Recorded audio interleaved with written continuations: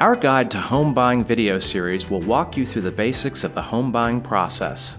The more you know and plan, the better off you'll be throughout the process. Let's take a look at understanding credit. After reviewing your budget, it's time to focus on your credit report.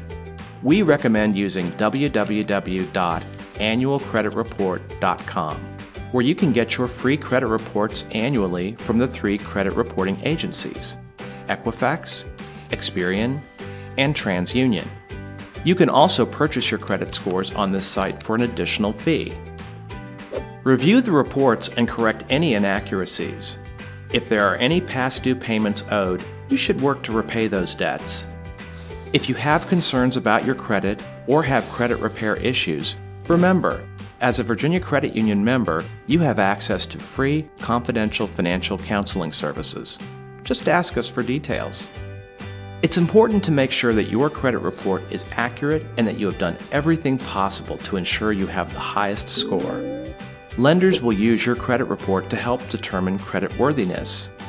Credit scores range from 300 to 850. The higher the score, the lower the risk of default for the lender. If you have too much debt, try to pay it down to lower your balances, but do not close those accounts, as that may negatively impact your credit score. Do not take on any new debt, as this could affect your ability to qualify for a mortgage. Also, during this time, you should not change jobs.